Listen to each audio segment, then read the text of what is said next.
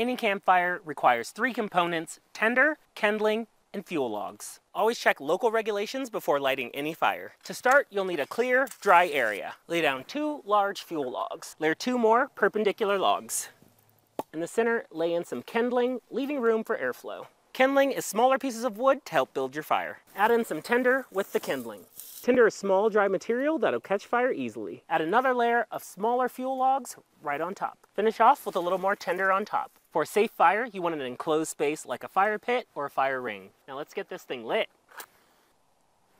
If you start a fire, you should be the one to put it out. To do it safely, douse with water and smother until those embers are no longer warm to the touch. Whew, I needed this, my hands are cold.